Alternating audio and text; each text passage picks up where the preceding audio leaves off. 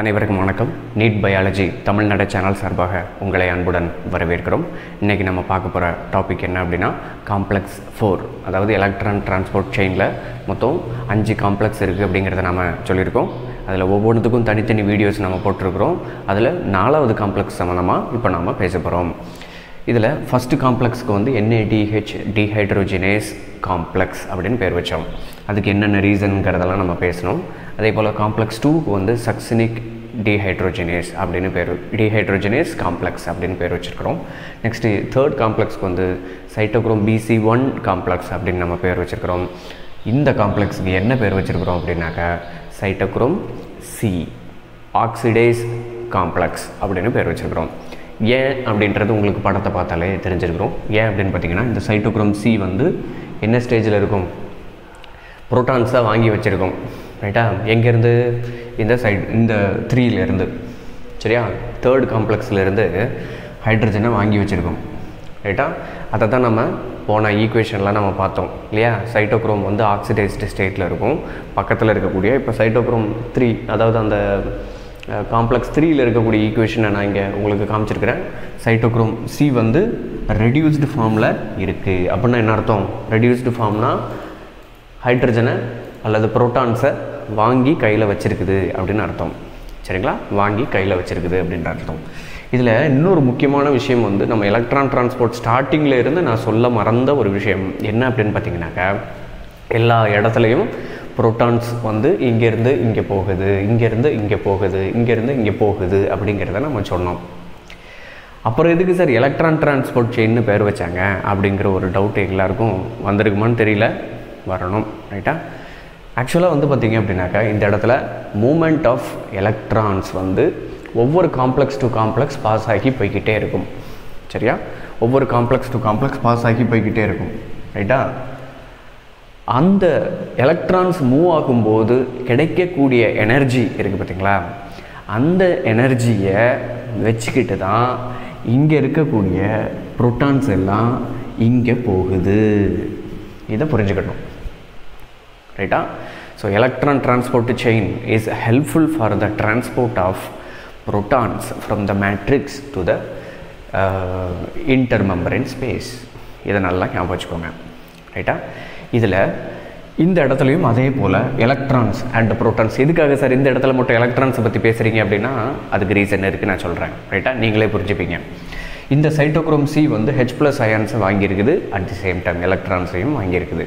கரெக்டாக நெக்ஸ்ட்டு இந்த cytochrome C வந்து சைட்டோக்ரோம் காம்ப்ளெக்ஸ் ஃபோரில் இருக்கக்கூடிய காம்ப்ளெக்ஸ் ஃபோரில் என்னென்னலாம் இருக்குது அப்படிங்கிறத ஃபஸ்ட்டு நாம் பார்த்துருவோம் ரைட்டா அது என்ன அப்படின்னு பார்த்திங்கன்னா இந்த இடத்துல ரெண்டு காப்பர் சென்டர் இருக்குமாம் சரியா? காப்பர் சென்டர் அப்படின்னா வந்து uh, நியூட்ரியன்ஸ் வந்து அந்த இடத்துல அக்யூமுலேட் ஆகிருக்கு it is inducing some of the ரியாக்ஷன்ஸுங்க அது ரியாக்ஷன் நடத்தக்கூடிய சென்டருக்கு பேர் இந்த காப்பர் சென்டர் ரைட்டாக இதை பற்றி ரொம்ப நீங்கள் ஆராய்ச்சி பண்ண தேவையில்லை.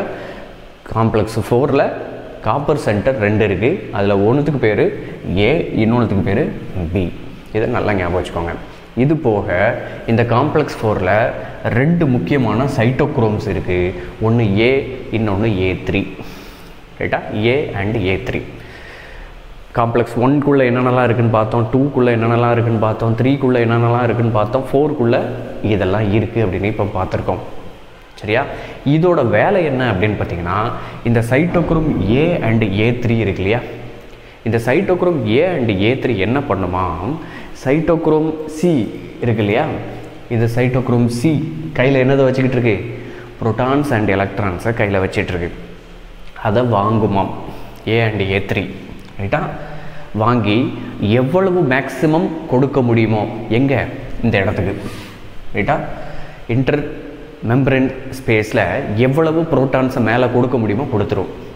அப்போ மீதி கொஞ்சோண்டு ப்ரோட்டான்ஸ் இருக்கும். சரியா?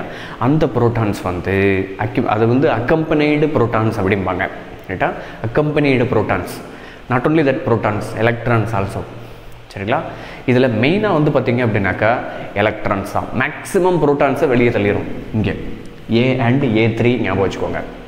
இப்போ அந்த ஏ அண்ட் ஏ த்ரீ வந்து it is providing the electrons ரைட்டா providing the electrons to this reaction ரைட்டா providing the electrons to this reaction இதுக்கு பேர் தான் டெர்மினல் ஆக்சிடேஷன் சரியா? டெர்மினல் ஆக்சி டெர்மினல் ஆக்சிடேஷன் நல்லா கவனிங்க இன்னொரு வாட்டி நான் சொல்கிறேன் சைட்டோக்ரோம் சி கிட்ட ஹைட்ரஜன் இருக்குது அந்த not only that hydrogen electrons also அதாவது not only that protons you should say that protons you should not say that hydrogen ரைட்டா ப்ரோட்டான்ஸ் ப்ரோட்டான்ஸ் அண்ட் எலக்ட்ரான்ஸ் வந்து யார்கிட்ட இருக்குது சைட்டோக்ரோம் சி கிட்ட இருக்குது அது ஏ அண்ட் ஏ த்ரீ கிட்ட கொடுக்குது. அண்ட் அந்த A and A three maximum amount of ப்ரோட்டான்ஸை மேலே தள்ளிடும் ரைட்டா அப்புறம் அதுக்கிட்ட இருக்கக்கூடிய எலக்ட்ரான்ஸு அதுக்கப்புறம் கொஞ்சோண்டு ப்ரோட்டான்ஸு அதை யூஸ் பண்ணி இந்த இடத்துல ஹெச் டூஓ உருவாக்கப்படுகிறது. With the help of the oxygen இந்த ஆக்சிஜன் எங்கேருந்து வந்துச்சு? நாம் சுவாசித்தோம்ல அந்த ஆக்சிஜன் நாம் எடுத்துக்கிறக்கூடிய ஆக்சிஜன் வந்து மைட்டோகான்ட்ரியாவில் எந்த இடத்துல எக்ஸாக்டாக பயன்படுதுன்னு பார்த்தீங்களா? இது வந்து இதே மாதிரி ஒரு இடத்துல தான் நடக்குமா மைட்டோகான்ட்ரியாவில் அப்படின்னா இல்லை. இதே மாதிரி ஏகப்பட்ட இடத்துல ஒவ்வொரு மைட்டோகாண்ட்ரியாவினுடைய இன்னர் மெம்பரன்லையும் ஒவ்வொரு செல்லுக்குள்ளேயும் நம்ம உடம்புல இருக்கக்கூடிய ஒவ்வொரு செல்லுக்குள்ளே இருக்கிற ஒவ்வொரு மைட்டோகான்ட்ரியாக்குள்ளே இருக்கிற இன்னர் மெம்பரைனில் நிறைய இடங்களில் இந்த எலக்ட்ரான் டிரான்ஸ்போர்ட் செயின் நடக்குது. ஸோ இப்போ அது அத்தனைக்கும் தேவையான ஆக்சிஜனை தான் நாம் சுவாசிச்சுக்கிட்டு இருக்கிறோம். ரைட்டாக சுவாசிச்சுட்டு இருக்கோம். நல்லா ஞாபகம் வச்சுக்கோங்க. ஸோ அப்போ இந்த ரியாக்ஷனுக்கு தேவையான எலக்ட்ரான்ஸை யார் ப்ரொவைட் பண்ணுறது அப்படின்னா cytochrome A and A three இதை நல்லா ஞாபகம் வச்சுக்கோங்க. ரைட்டா இப்போ இந்த சைட்டோக்ரோம் சி வந்து என்ன ஆகுது? காம்ப்ளெக்ஸ் த்ரீயில் வந்து சைட்டோக்ரோம் ரெடியூஸ்டாக இருந்துச்சு. இல்லையா? சைட்டோக்ரோம் சி வந்து ரெடியூஸ்டாக இருந்துச்சு. இங்கே வந்து பார்த்திங்கன்னா அது ஆக்சிடைஸாக மாறுகிறது. ஆக்சிடைஸ்டு ஃபார்மில் மாறுகிறது. ஆக்சுவலி இந்த ஈக்குவேஷன் வந்து உங்களுக்கு கொஞ்சம் மாற்றி கொடுத்துருக்காங்க அப்படின்னு நான் சொல்கிறேன் மற்றபடி வந்து இதில் ஏதாவது கரெக்ஷன்ஸ் இருந்துச்சு அப்படின்னாக்கா நீங்கள் கமெண்ட் பண்ணுங்கள் ரைட்டா சைட்டோக்ரோம் சி வந்து காம்ப்ளெக்ஸ் த்ரீ கிட்டேருந்து ஹைட்ரஜனை அல்லது ப்ரோட்டான்ஸை எலக்ட்ரான்ஸை வாங்கி ரெடியூஸ்டு ஃபார்ம்னு இந்த இடத்துல கொடுத்துருந்துருக்கணும். ரைட்டா இது வந்து ஆக்சிஜன் கூட சேர்ந்து சரியா? இது வந்து it is providing the electrons சரியா? For the formation of H two O அப்போ இது வந்து எலக்ட்ரான்ஸையும் ப்ரோட்டான்ஸையும் இங்கே கொடுக்கும்போது என்ன ஆகும் அப்படின்னாக்கா இந்த இடத்துல ஆக்சிடைஸ்டு ஃபார்மாக அது இருக்க வேண்டும். அப்போ காம்ப்ளெக்ஸ் ஃபோரில் வந்து சைட்டோக்ரோம் ஆக்சிடைஸ் ஆகுதுங்கிறத ஞாபகம் வச்சுக்கோங்க. அதனால தான் அதுக்கு பேர் சைட்டோக்ரோம் சி ஆக்சிடைஸ் காம்ப்ளெக்ஸ்னு பேர் வச்சுருக்காங்க. சரியா? அதனால தான் நான் சொல்கிறேன் இந்த இடத்துல ரெடியூஸ்டு ஃபார்ம் வந்து ஆக்சிடைஸ்டு ஃபார்மாக இருக்க வேண்டும் அப்படின்னு நான் சொல்கிறேன் சரியா? ஸோ இந்த இடத்துல நீங்கள் வந்து எது கரெக்டு எது தப்பு அப்படிங்கிற ஆராய்ச்சியெல்லாம் பண்ணாமல் நீங்கள் வந்து இப்போ நான் சொல்கிற விஷயங்களை ஞாபகம் வச்சுப்பீங்க அப்படின்னு நான் நம்புகிறேன் சரிங்களா? சரி இதில் இன்னும் ஒரே ஒரு முக்கியமான விஷயத்தை நான் சொல்லிடுறேன். என்ன அப்படின்னு பார்த்தீங்கன்னா இந்த இடத்துல இருக்கக்கூடிய இந்த நடக்குது பார்த்தீங்களா இந்த ரியாக்ஷன் இந்த ரியாக்ஷனை இதுக்கு முன்னாடி எங்கேயாவது பார்த்துருக்கீங்களா? பார்த்துருப்பீங்க கண்டிப்பாக ரைட்டா ஆனால் ஞாபகம் வராது. ரைட்டா எப்படி அப்படின்னு பார்த்தீங்கன்னா ஃபோட்டோ சிந்தசிஸ் ரியாக்ஷனில் ஃபஸ்ட்டு வந்து வாட்டர் மாலிகூல்ஸ் வந்து பிரேக் ஆகும். கரெக்டாக சரியா? வாட்டர் மாலிகூல்ஸ் பிரேக் ஆகும். அந்த ரியாக்ஷனுக்கு என்ன பேர்? ஃபோட்டோலைசிஸ் அப்படின்னு படிச்சிருப்பீங்க. கரெக்டாக ஃபோட்டோலைசிஸ் இந்த ஃபோட்டோலைசிஸில் என்ன நடக்கும்? ஹெச் டூஓ பிரேக் ஆகும். கரெக்டாக பிரேக் ஆகி ஹெச் ப்ளஸ் அயான்ஸ் ஃபார்ம் ஆகும். ஆக்சிஜன் ஃபார்ம் ஆகும். எலக்ட்ரான்ஸ் ரிலீஸ் ஆகும். அந்த எலக்ட்ரான்ஸ் அக்செப்ட் பண்ணுறது யார்? பிளாஸ்டோகுயினோன் அப்படிங்கிற ஒரு சப்ஸ்டன்ஸு சரியா? ஸோ இந்த மாதிரி ஒரு ரியாக்ஷனை நாம் அங்கே படிச்சிருக்கோம். அதனுடைய ரிவர்சிபிள் ரியாக்ஷன் தான் இது அப்படிங்கிறத மைண்டில் வச்சுக்கோங்க. எக்ஸாமில் எழுதிடாதீங்க சரியா? ஃபோட்டோலைசிஸில் என்ன படித்தோமோ அதனுடைய ரிவர்சிபிள் ரியாக்ஷன் தான் இந்த டெர்மினல் ஆக்சிடேஷன் ஞாபகம் வச்சுக்கணும். சரிங்களா? ஸோ இந்த டெர்மினல் ஆக்சிடேஷனுக்கு தேவையான எலக்ட்ரான்ஸை யார் ப்ரொவைட் பண்ணுது அப்படின்னு பார்த்தீங்கன்னா இந்த எலக்ட்ரான் டிரான்ஸ்போர்ட் செயின் இந்த எலக்ட்ரான் டிரான்ஸ்போர்ட் செயினினுடைய முக்கியமான எய்ம் என்ன அப்படின்னு பார்த்தீங்கன்னா நிறைய இருக்குது ரைட்டா என்ன அப்படின்னு பார்த்தீங்கன்னாக்கா இந்த என்ஏடிஹெச் எஃப்ஏ எஃப்ஏடிஹெச் டூலேருந்து ஏடிபியை உருவாக்குறது அப்படிங்கிற ஒரு விஷயம் தான் ரொம்ப ரொம்ப முக்கியம். ரைட்டா ரொம்ப ரொம்ப முக்கியம். அது எப்படி ஃபார்ம் ஆகுது அப்படிங்கிறத தான் நம்ம பார்த்துக்கிட்டு இருக்கோம். ரைட்டா அதுக்கு உண்டான நாலு காம்ப்ளெக்ஸ் எப்படி வேலை செய்யுது அப்படிங்கிறத நாம் பார்த்துக்கிட்டு இருக்கோம்.